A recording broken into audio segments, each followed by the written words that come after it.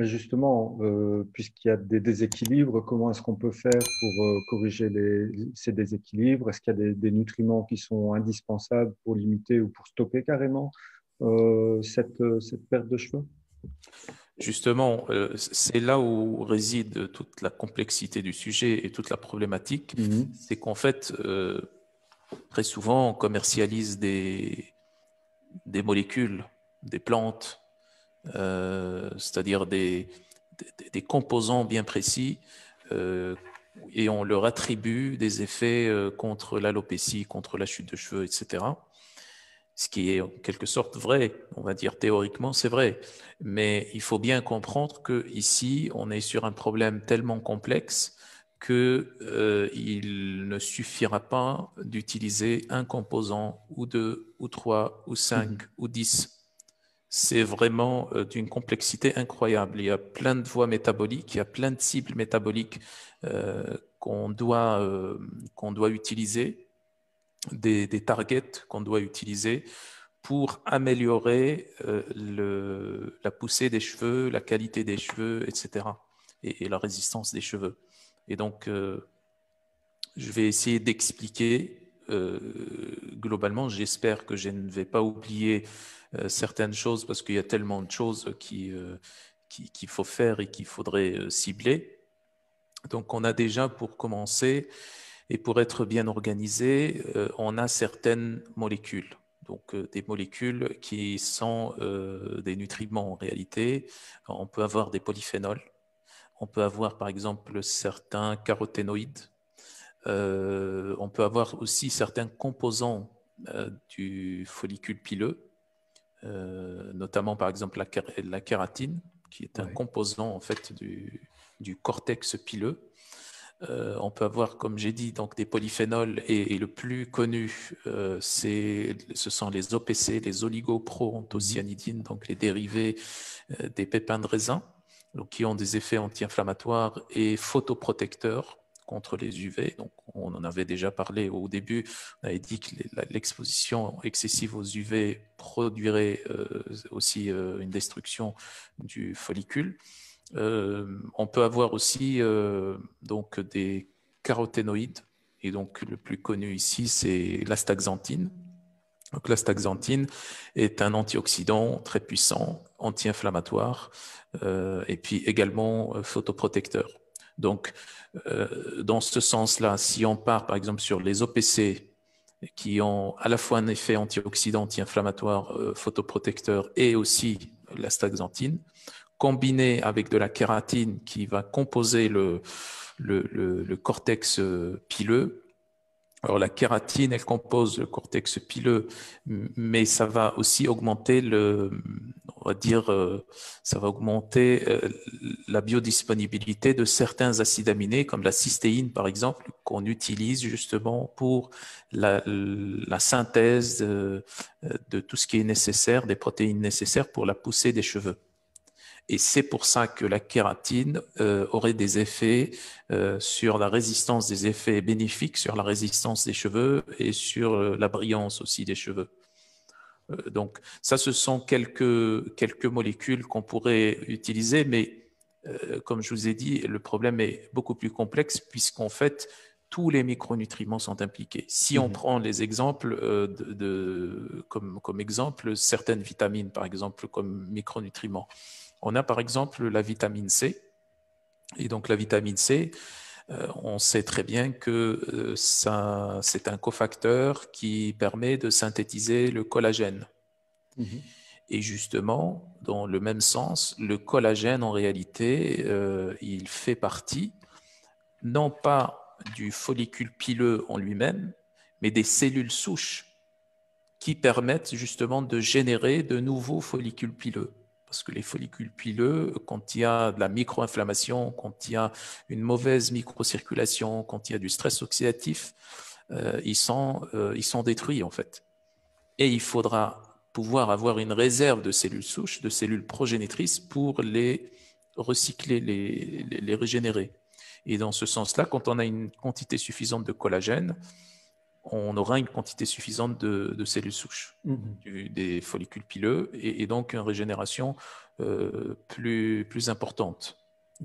donc, euh, on, peut aussi citer l'exemple de la vitamine E. La vitamine E qui est très connue comme antioxydant, c'est un antioxydant liposoluble contrairement à la vitamine C qui est un antioxydant hydrosoluble. Donc la vitamine E, dans ce sens-là, précis pour, euh, pour la chute de cheveux et, la préservation des follicules, euh, elle, augmente en tant qu'antioxydant, euh, elle augmente le niveau d'une enzyme antioxydante très importante qui va diminuer la peroxydation des lipides. Et, et, la peroxydation des lipides, en fait, euh, c'est l'un, en tout cas, des, facteurs qui permet aussi la destruction. Quand on dit peroxydation des lipides, c'est stress oxydatif hein, qui est mhm. dirigé, orienté vers les lipides. Donc c'est un, une problématique aussi importante euh, par rapport à la préservation des follicules pileux. Ça permet en même temps, exactement comme la vitamine C, d'augmenter des facteurs, ce qu'on appelle les facteurs pluripotents, les facteurs pluripotents, en fait, ce sont des, des molécules, des, facteurs qui vont induire la différenciation des cellules souches en follicules pileux. Ok, mmh. Donc ça, c'est aussi très important. Donc, vous, comprenez que le, mécanisme est assez complexe et il faudrait vraiment agir sur plusieurs euh, voies métaboliques pour pouvoir avoir une, euh, une efficacité euh, importante. si on prend l'exemple, par exemple, de la vitamine A, la vitamine A également, c'est un antioxydant. Donc remarquez bien que les vitamines, euh, toutes les vitamines antioxydantes, que ce soit la C, la E ou la A, ils ont des effets très importants sur, la poussée des cheveux. Euh, donc la, vitamine A en tant qu'antioxydant, ça va empêcher la, destruction des, cellules ciliées qui, sont en euh, qui font partie du cheveu ça va empêcher la kératénisation de ces cellules euh, ciliées euh, et ça va stimuler, donc ça va augmenter la durée de la phase anagène des cheveux. Donc ça va donner une longue vie aux cheveux. Et puis également, si, si on revient sur, sur d'autres vitamines, comme par exemple des vitamines de type vitamine D ou les vitamines du groupe B, également, toutes les vitamines du groupe B, par exemple, sont impliquées dans euh, la préservation et euh, l'augmentation de la durée de la, phase anagène. Euh, pourquoi? Parce que la plupart des vitamines B sont impliquées dans la synthèse de l'ATP, chose qui est bien nécessaire pour les follicules pileux pour qu'ils puissent se développer pour les cheveux, pour qu'ils puissent pousser et acquérir une certaine résistance.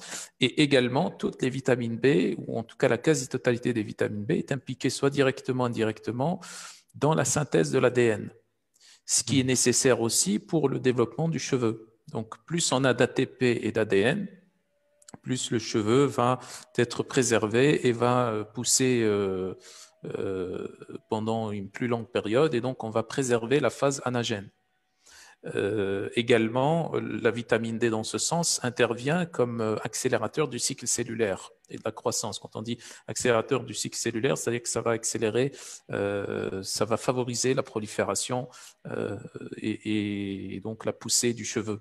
Ça diminue aussi l'inflammation parce qu'on sait que la vitamine D est un immunomodulateur du système, euh, mmh. système immunitaire, de l'immunité euh, en général. Donc, euh, si, si, on rentre dans les détails des détails, il y, a, il y a plein de choses à voir, mais les vitamines du groupe B qu'on connaît, là, les vitamines B1, B2, B3, B6, B9, B12, et également des pseudo-vitamines du groupe B, comme par exemple l'acide pantothénique, la vitamine B5, mmh. la fameuse vitamine B8 aussi, qui, est la biotine.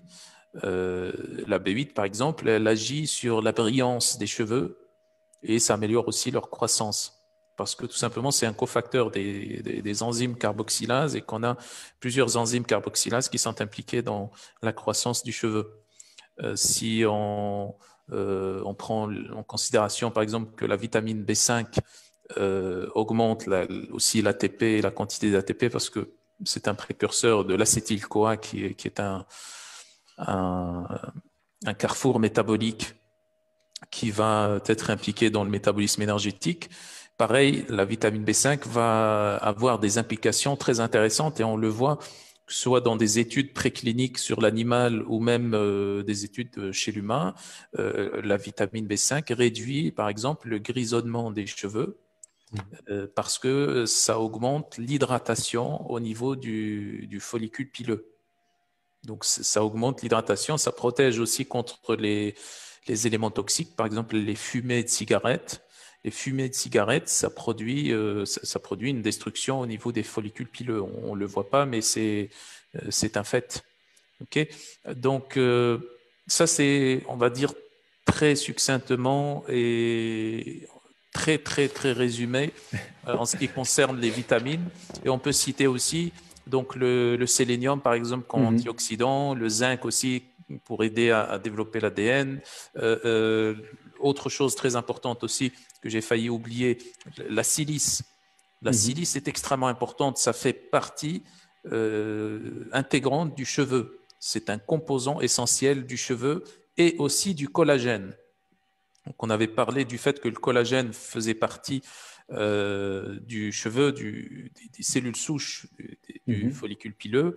Eh bien, le, silicium, la silice, fait partie du collagène et fait partie du cheveu lui-même. C'est un composant essentiel du cheveu.